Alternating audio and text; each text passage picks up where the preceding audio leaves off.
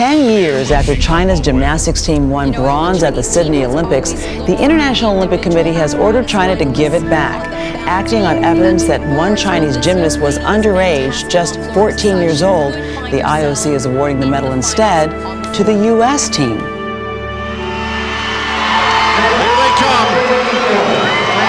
The 2000 women's gymnastics team for the United States of America.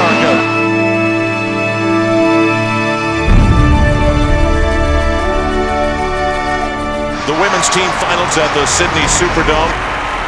The United States makes its entrance. And so the United States looks to Jamie Dantzscher to set the tone.